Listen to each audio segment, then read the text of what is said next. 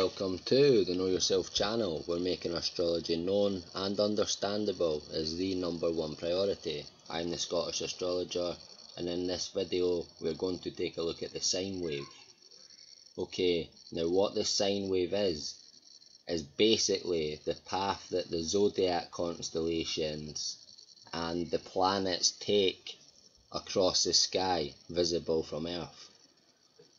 So basically what you're seeing on the screen here is a line in the middle which would basically represent Earth. And on the top left hand side of the line you should see a semicircle and at the bottom right hand side another semicircle.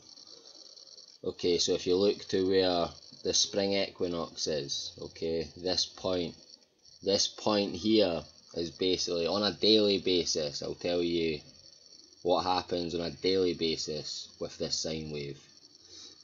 On a daily basis, the sun will rise as at the part where it says spring equinox. It will make its way up halfway up the circle to the Tropic of Cancer, and that's the middle point of the day. And then it'll drop down to where it says September 21st, autumn equinox, and that's where the sun sets at night uh, at the scales of Libra that balances the day from the night. Then it'll travel round down to the Tropic of Capricorn uh, to the point where it says winter solstice, and that point is the middle of the night, halfway to when the sun returned back to its original starting point at the spring equinox. Okay, so once it climbs back up to past Pisces, it makes it back to the beginning of the circle. This is basically just a zodiac wheel split into an S. Uh, but if you just bring it back round on itself, making it the full circle, that's basically what's going on. And obviously, in the northern hemisphere, as the sun's rising, going to midday. The opposite is happening in the southern hemisphere. So when the sun, it's midday in the northern hemisphere, it'll be like midnight in the southern, southern hemisphere. It'll be the opposite, at opposite points. Uh, and basically what happens on a yearly scale with this sine wave is when the sun makes it to the zodiac sign Aries, right, on the 21st of March, the very beginning, 0 degrees of Aries, this represents the beginning of the spring equinox. And then when it makes its way to June the 21st uh, to Cancer, the beginning of Cancer, at the Tropic of Cancer, this is the summer solstice. This is just what occurred two days ago and then when it makes it to Libra the September the 21st that's the beginning of the autumn equinox you know the scales of balance. And then when it reaches December 21st that's the winter solstice and then back up to the, where it started the spring equinox. And this is just a continuous cycle. This happens all the time. Uh, opposite is true for the northern hemisphere is what I just explained for the yearly cycle of this sine wave.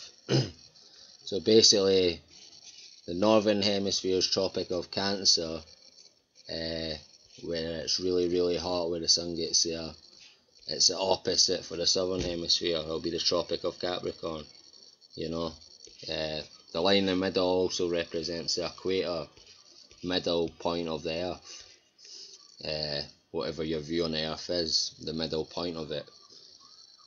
Uh, yeah, so basically this is how it goes. Uh, but actually, when the sun reaches March the 21st, it isn't actually the zodiac sign Aries, that is rising. It's actually Pisces and just beginning to see Aquarius. So, but this, that is how we determine what age we are in through precession of the equinoxes. And that means that everything you see here where it all should start with Aries being here, it's been slipping back the zodiac signs one degrees around every 72 years. So we're now it's slipped back here. Okay, so this is what's being revealed. But tropical astrology is based on the seasons, so that basically every 21st of March represents zero degrees of Aries, even though precession has slipped it into being Pisces Aquarius that's that you're seeing rise here on March the 21st instead of Aries.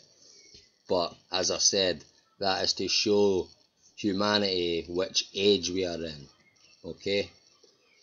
Right guys, thanks for watching. Please share, please subscribe. Thank you.